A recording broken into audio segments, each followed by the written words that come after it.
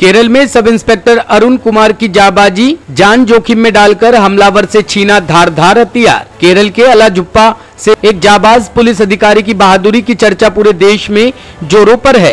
इतना ही नहीं, अब इनकी जाबाजी का वीडियो भी सोशल मीडिया पर तेज़ी से वायरल हो रहा है। देश भर के पुलिस विभाग में इनकी चर्चा हो रही है कि आखिर जान जोखिम में डालकर किस तरह से एक अपराधी से हथियार छीन लिया। दरअसल सैंतीस वर्षीय sub inspector V R Arun Kumar, जो कि केरल के अलापुझा ज़िले के नूरनाड पुलिस स्टेशन के स्टेशन हाउस ऑफिसर है।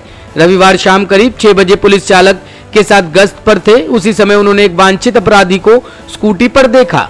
इसके बाद sub inspector Arun Kumar police की जीप को अपराधी के स्कूटर के पीछे रोक देते हैं।